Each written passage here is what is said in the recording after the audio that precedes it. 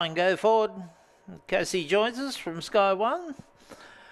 And equal favourites two and four. Like green, Bunny Rolls will soon know. They're all set. Ready.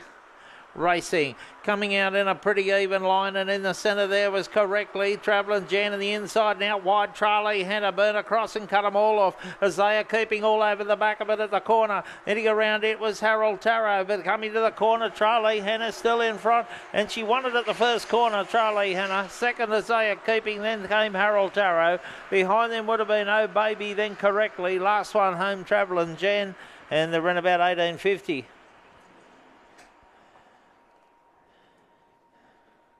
Seven the black, Charlie Henna first. By Aston DB for Charlie, Jazz for Mel Mobbit. Second will go to the two as they are keeping Shane Stiff. And third to the four, Harold Tarot, Jeanette Foley. Seven two four six, one length by half a head, 1852.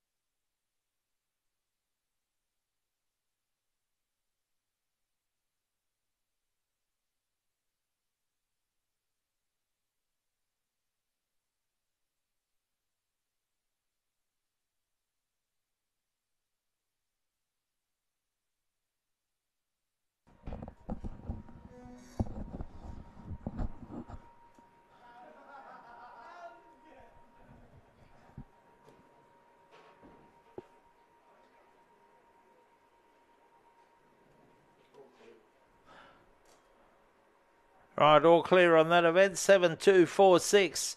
7246. All clear, race 7.